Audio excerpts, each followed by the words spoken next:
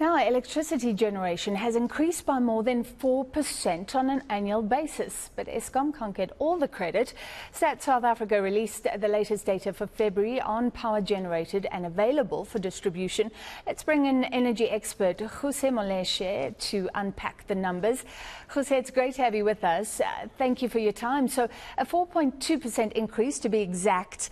Um, it seems substantial, but it comes from a base where we weren't producing a lot of electricity, right?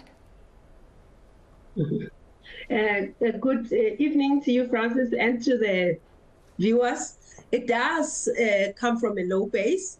If you remember, there was a time when we had Kusile not producing anything at all. And um, so the returning of those three units has contributed to that.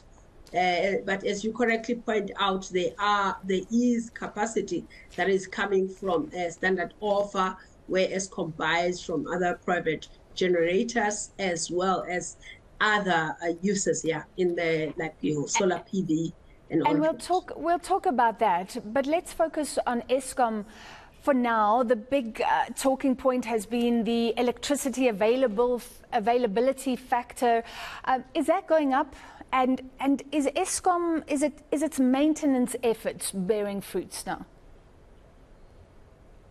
So uh, I think that's exactly what I just said with respect to returning back some of the units that were completely off, like three units from Kusile. I think there's another unit from Medupi, and then some of the additional generation capacity. Uh, the, the, from a maintenance point of view, actually, Eskom has increased outages, meaning planned maintenance